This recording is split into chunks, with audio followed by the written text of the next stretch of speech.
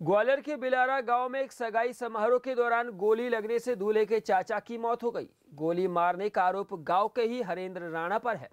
Hastinapur police ने तीन लोगों पर हत्या का मामला दर्ज कर जाँच शुरू कर दी है।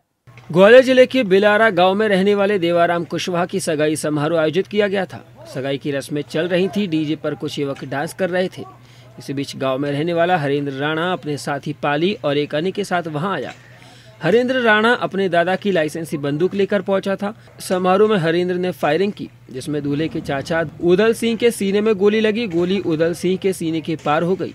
गोली लगने से घायल उदल को परिवार वाले ग्वालियर लेकर पहुँचे, लेकिन अस्पताल पहुँचने से पहले ही उदल सिंह की मौत हो गई।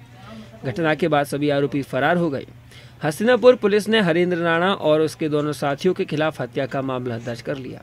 शादी में हम तो का उनते बालंग की साइड में हमारी की व्यवस्था कर रहे थे और जालंग की लंग आए गए डीए थे डीए पे मान ले नाच गाने आ रहे थे।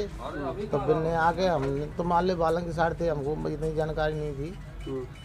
बिन्ने आके एक फायर किया है।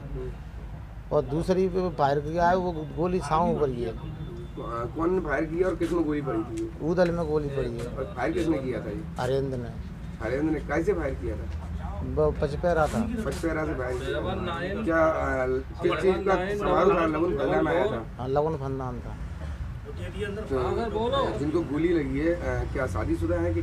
शादी। है। कितनी लगभग कितनी साल की उम्र है उनकी? बिनकी पैंतीस साल की है। मृतक उदल सिंह पुत्र जसवंत सिंह कुशवाहा उम्र 35 साल निवासी बिलारा।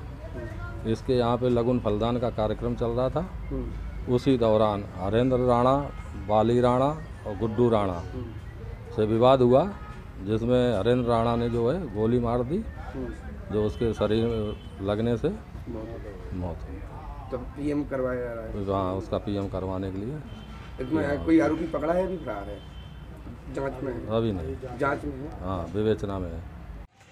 दबंग न्यूज़ के लिए ग्वालियर से उमेश वर्मा की रिपोर्ट।